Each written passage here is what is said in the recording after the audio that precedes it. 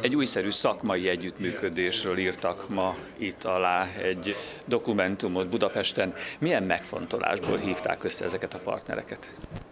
Kita régen elkötelezett híve a precíziós gazdálkodásnak és az új fejlesztési, mezőgazdasági fejlesztési irányoknak, és a velünk együttműködő, mai napon stratégiai szövetségre lépő partnerek is jelen vannak a fejlesztésekben, valamennyien rendelkeznek elkülönülten olyan tudásokkal, tudásbázisokkal, információkkal és új fejlesztésekkel, amelyeket úgy gondoltunk, hogy szükség van egy vezérlő szerepre, nevezetesen a kitezéletére, aki összefogja, összekovácsolja ezeket az erőket és egy irányba tud hatni. Mekkora területen lehet ma beszélni precíziós gazdálkodásról, hogyha az össz magyarországi mezőgazdasági területeket nézzük?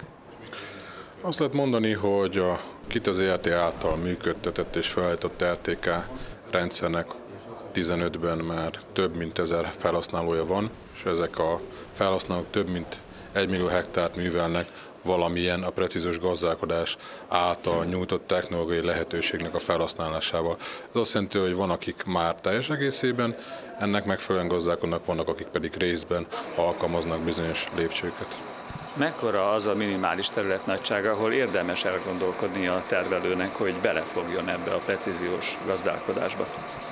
Én úgy gondolom, hogy nem kifejezetten méretfüggő ez a precíziós gazdálkodás, hiszen hogyha egy kisebb gazdaságról is beszélünk, mindenek előtt az a lényeges mondani valója, és az a lényeges törekvése az egész együttműködésünknek és a precíziós gazdálkodásnak is, hogy a gazdálkodóknak a versenyképességét, jövedelmi hátterét javítsuk, ezáltal nem tenném ezt területméret függővé. Azt lehet mondani, hogy bizonyos szempontokból a gépesítés, tábla, kontúrok és a gépméretek szabnak ennek határokat, de nem tudok igazából alsó határértéket megjelölni.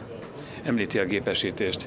Szinte már nincsen olyan gép, amit manapság forgalomba hoznak, hogy ne lenne ellátva ilyen precíziós eszközzel.